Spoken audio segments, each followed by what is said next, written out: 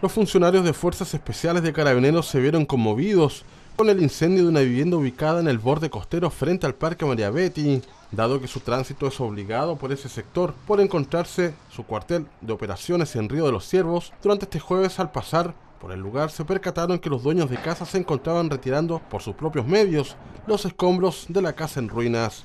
escena que los motivó a ir en busca de 15 funcionarios para ir en ayuda del pesado trabajo. Los trabajos se dividieron en dos jornadas, mañana y tarde, donde los funcionarios retiraron todos los escombros para luego ser trasladados en bateas. Fuera de cámaras, el dueño de la vivienda siniestrada, Juan Hernández, agradeció el gesto de los funcionarios policiales, pero también agradeció a la comunidad por la preocupación que han tenido en torno a la tragedia que los azotó el miércoles a mitad de semana.